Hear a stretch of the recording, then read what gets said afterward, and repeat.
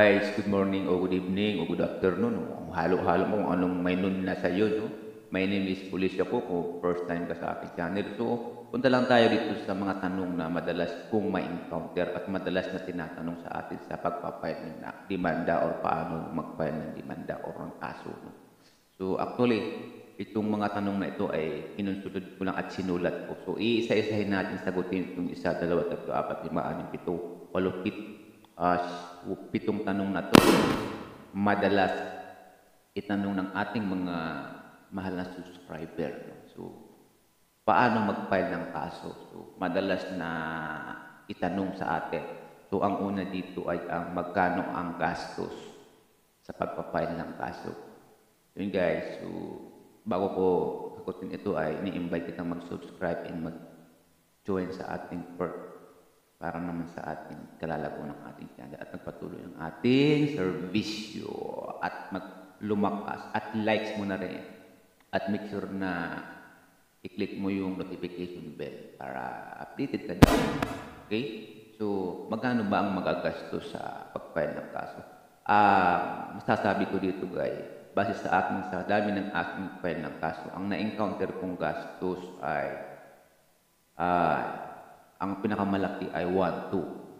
So, ito ay, itong 1-2 ito ay ginastos ko. Dito kasi sa amin, ang bawat presinto guys ay may kanya-kanya style o may kanya-kanya sistema. Dito kasi sa amin guys, um, ginastos ko yung 1-2 or 1-3 iyon ay sa pagpapamedical sa suspect. Ah, yung suspect ay pinamedical ko to 600 pesos. And then, yung more or 600 more doon ay photocopy.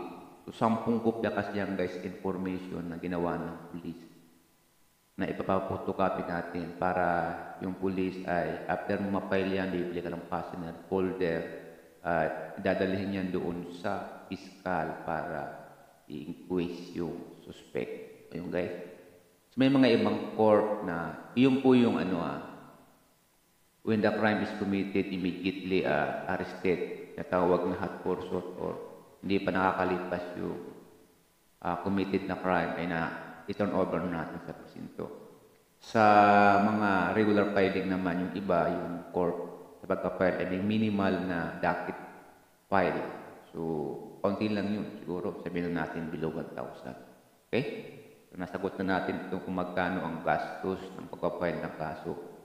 Depende po yun sa presinto. Kung yung presinto nyo ay medyo rich naman at hindi naniningil ay hindi nag-oobliga, mayroon silang sariling photocopy at hindi nag-oobliga ng medical sa suspect, sila na mismo ang pumunta. Dati kasi libre itong medical. Eh. I don't know kung why, kung the reason, kung bakit nire-required nila magbayad yung complainant sa pagpapamedical ng suspect.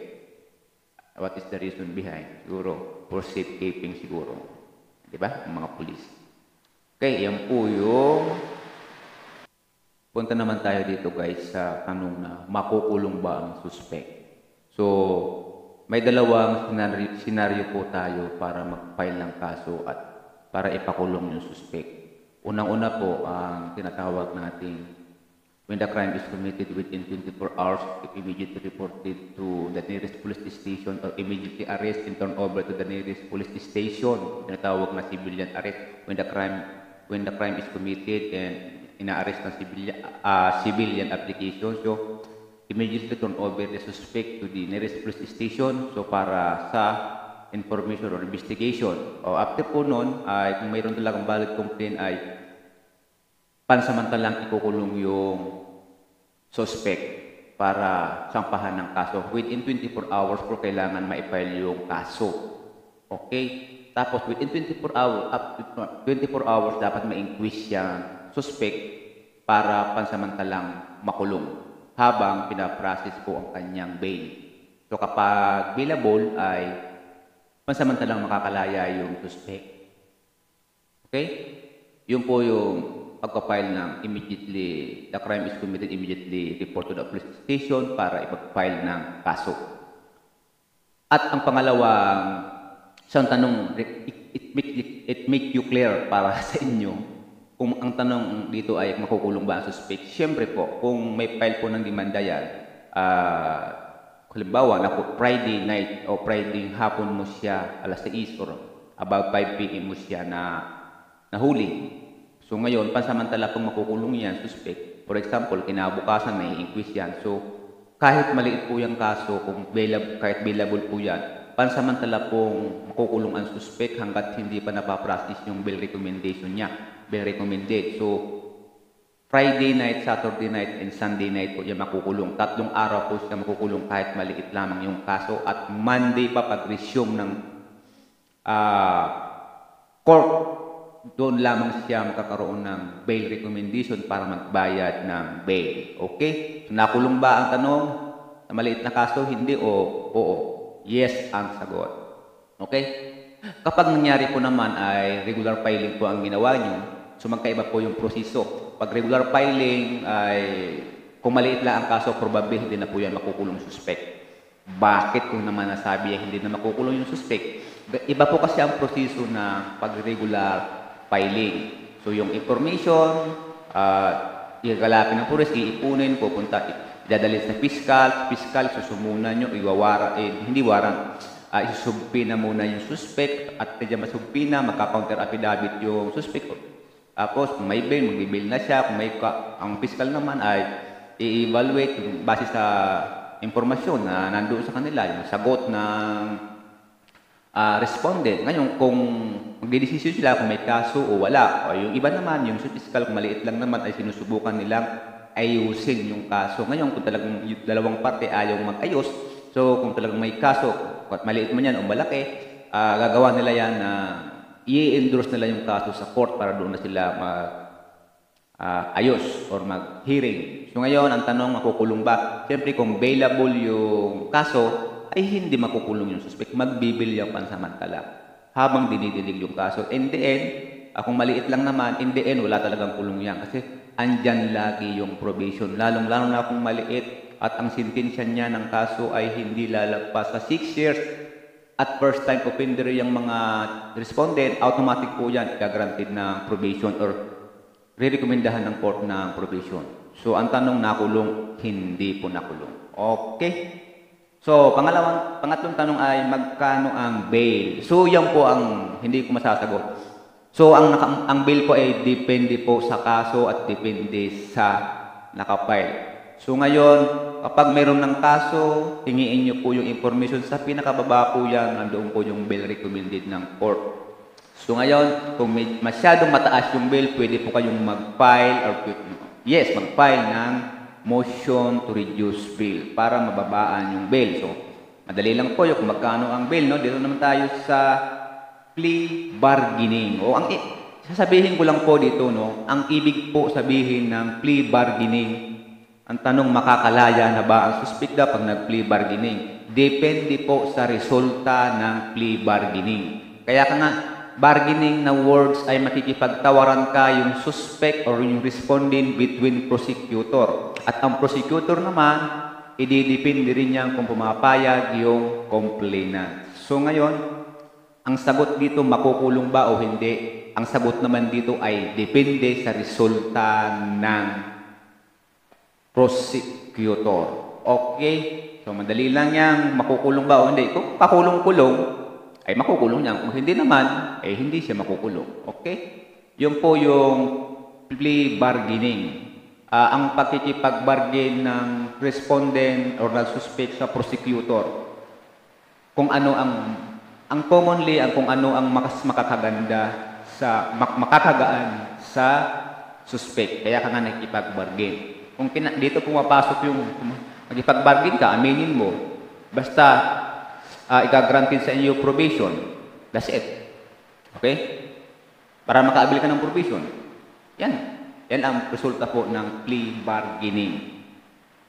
So, ang kung number 5 dito, ito yung medyo delikado at maraming natatakot dito ay ang subpina. Ano ba ang gagawin sa subpina?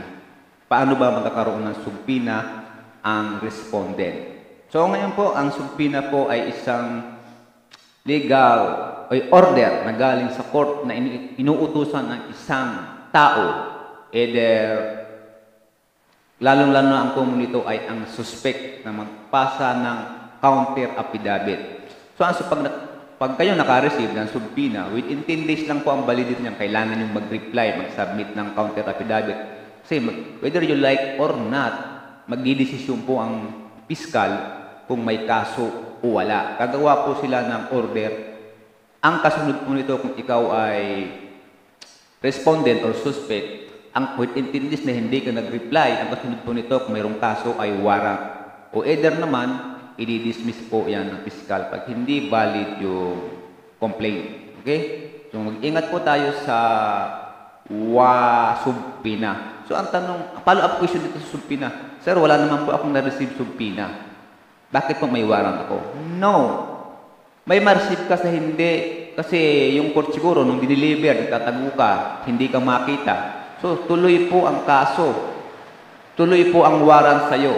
So, kung bailable yan, mag-bail ka na lang. Hindi po yun absolute. Kung nagtatago ka ay hindi ka na makakasuhan. Hindi ka na mai-issuean ng warrant. Tuloy po ang kaso dyan. Okay?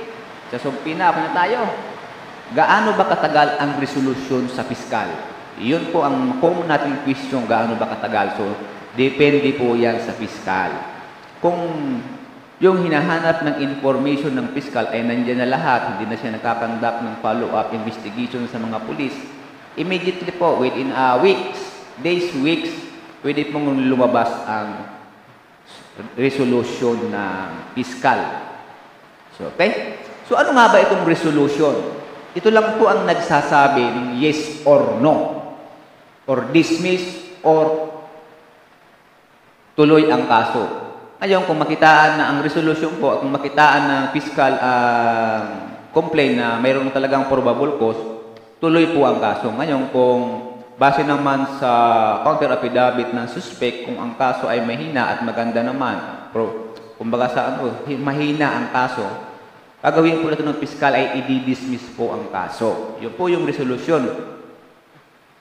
Antayin nyo, i-follow up nyo. Depende po yan sa fiscal.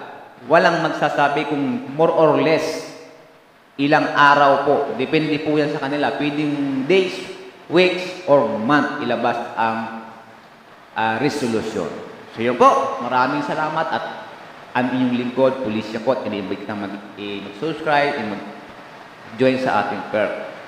At muling nagsasabi, hindi lahat ng criminalistic ay nagpupulis. Yung isa po ay nasa YouTube.